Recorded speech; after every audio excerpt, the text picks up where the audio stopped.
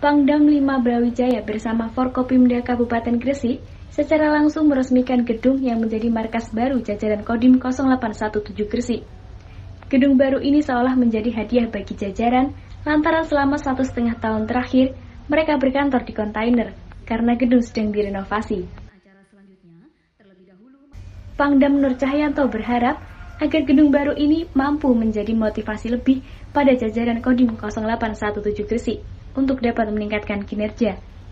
Jika selama berkantor di kontainer sudah memiliki kinerja yang bagus, maka di kantor yang luar biasa ini kinerja harus lebih meningkat. Ini kan apa eh, bangunan Makodim yang baru. Uh, karena sebelumnya karena sebelumnya itu kondisinya uh, kurang bagus.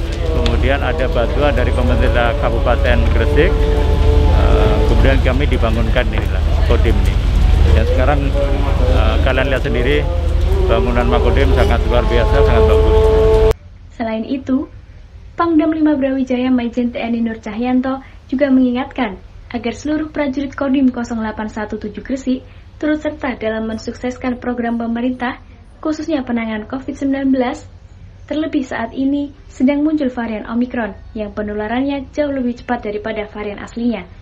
Dari Gresik, Tim Liputan Garda TV.